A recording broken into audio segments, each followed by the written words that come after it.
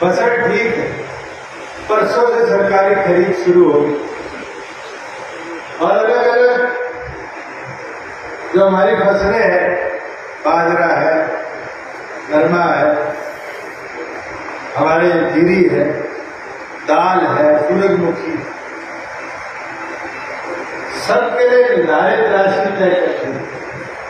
दो lakh metric ton तो सरकार बाजरा अपनी खपत के लिए खरीदे और बचे हुए को भी भावांतर भरपाई के तहत किसान को मजबूती देने का काम करेगी। पिछले साल की तरह किसान के खाते में देगी कि आप और एक महीने अपने पास रोक लो, इतने खाद बीज का खर्चा निकल जाएगा।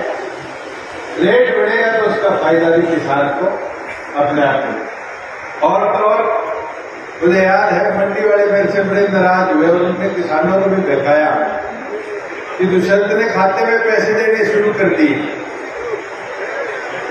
जब मैंने खाते में पैसे दिए तो लोगों ने कहा, पैसे मर जाएँगे, किसान ईमानदार कौन किसी एक आदमी के पैसे नहीं मिले, किसान